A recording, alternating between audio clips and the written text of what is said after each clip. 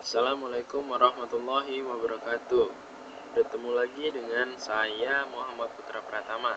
Kali ini saya akan membahas atau membuat tentang sebuah tutorial bagaimana cara memotong dan menggabungkan sebuah mp3 menjadi satu.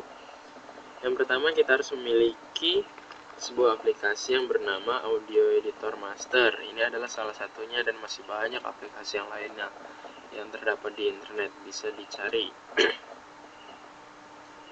ya jika sudah. Yang saya gunakan kali ini adalah aplikasi audio audio editor master. Jika sudah terinstall di PC Anda bisa langsung di double klik pada aplikasi tersebut. Maka akan langsung muncul tampilan seperti ini. Nah seperti ini. Bisa dilihat di layar seperti di layar tampilannya yang pertama yaitu kita akan membuat eh, bagaimana cara memotong sebuah MP3. Yang pertama adalah di sini di file di icon file terdapat banyak fungsi-fungsi um, banyak menu-menu yaitu yang pertama di sini kita akan menggunakan open klik open jika kita klik akan muncul tampilan seperti ini. Fungsi open open di sini untuk menentukan di mana lokasi MP3 yang akan kita gunakan sebagai bahan untuk uh, kita gunakan untuk kita potong durasinya. Kita cari lokasinya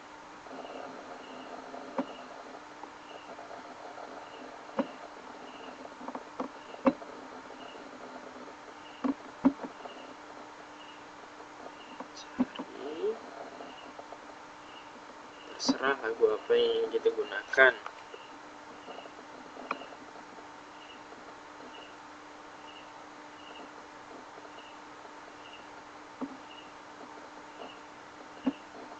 lalu jika sudah dipilih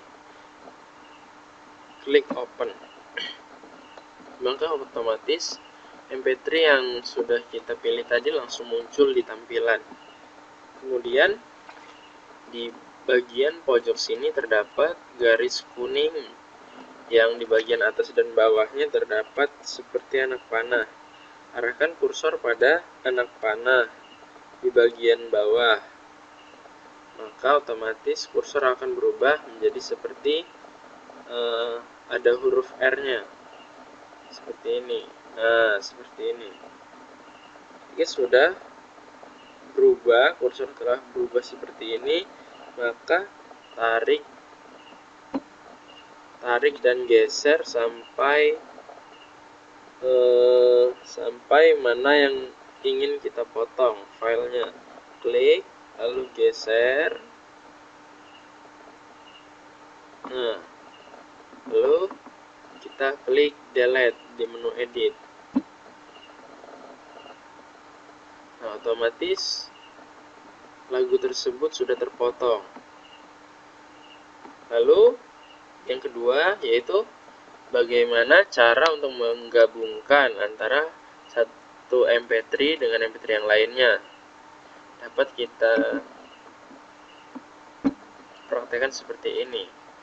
Tadi kita hapus, kemudian kita pilih lagi lagu dengan menggunakan menu open. Kita cari lokasi lagu yang ingin kita gabungkan.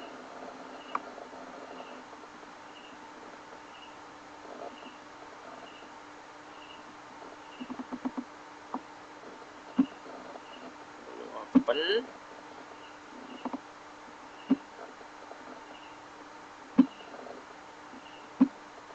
otomatis lagu akan muncul di tampilan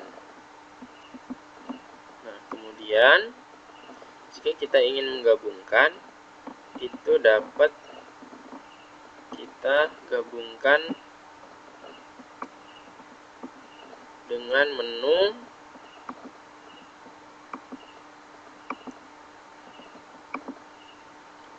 generate.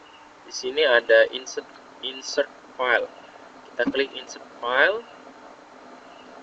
Kita cari filenya cari lokasi di mana file lagu tersebut yang akan kita gabungkan. Kemudian jika sudah memiliki lagu yang kita pilih kita klik lalu klik open. Oke. Okay. sudah menunggu loading. Nah, dengan otomatis lagu sudah gak tergabung menjadi satu. Ini dia.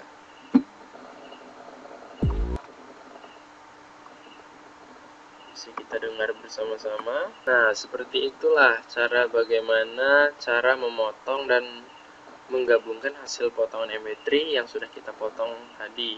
Kemudian cara untuk menyimpannya yaitu dengan uh, ada di menu file bisa kita save. Oke. Kemudian otomatis file tersebut melalui proses loading terlebih dahulu untuk menyimpan di mana lokasi yang akan menyimpan filenya. Tempat file akan disimpan. Maka setelah loading otomatis file akan tersimpan di folder yang telah ditentukan.